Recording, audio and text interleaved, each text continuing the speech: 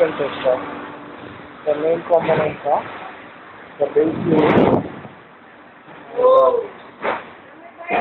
foundation lock. Foundation is located in the downside. There are four points. There is two oil pan, oil cap on one, one side, one on other side. Ah. There are two wires. One is for horizontal and another is for vertical. It's already written there.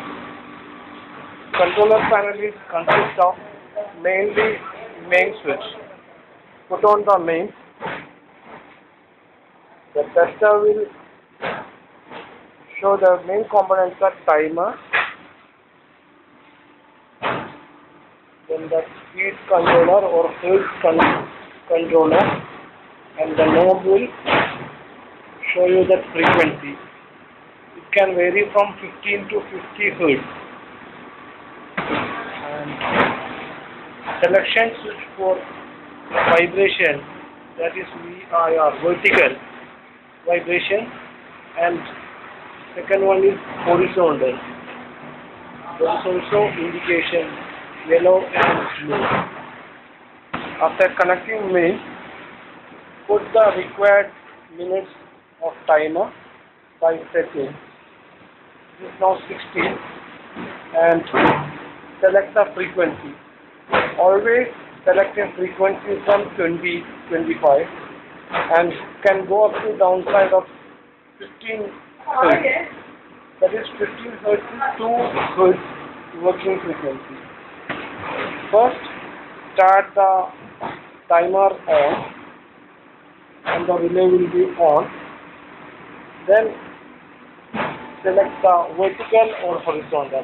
When you select vertical, tester will start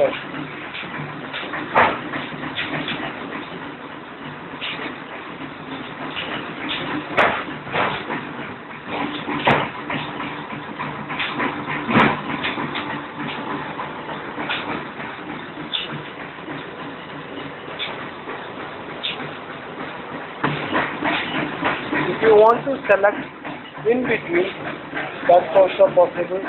Connect to zero, then go to horizontal. The sensor will start moving horizontally. If you want to change the frequency in between, then change to required frequency. Accordingly, the vibration frequency will be reduced.